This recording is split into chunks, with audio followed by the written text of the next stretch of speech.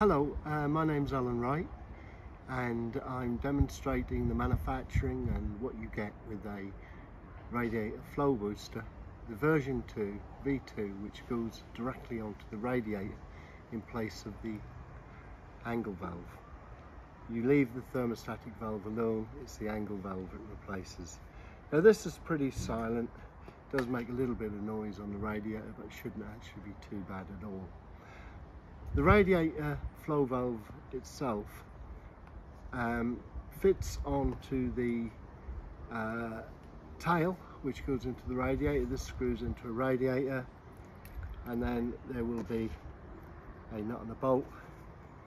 So whichever way you're going to fit it, you take that nut off and it screws in.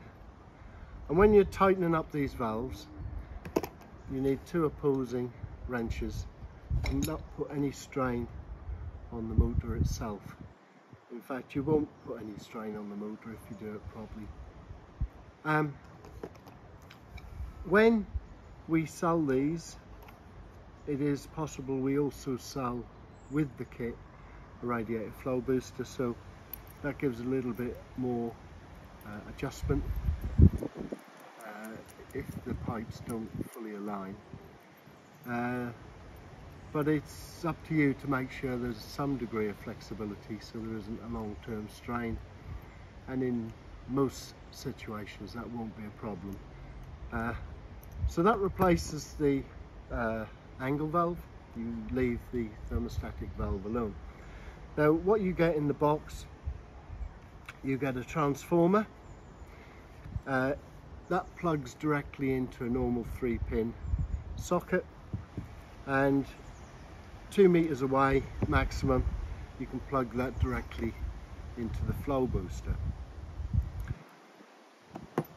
However if you want more than one meter we sell three meter cables.